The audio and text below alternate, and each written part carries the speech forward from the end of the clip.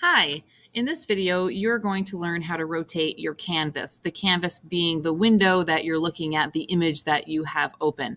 As you can see, my image is upside down, and when you open up your image, yours may be upside down as well. It's an easy fix. If you go up to the toolbar at the top where it says image, and come down to rotate canvas 180 degrees, it will flip it over for you. Amazing. Now, some of you may also have an image that is uh, needing just a 90 degree flip like that, that or you can do an image um, counterclockwise rotation for 90 degrees like that. But that's where you would find that tool.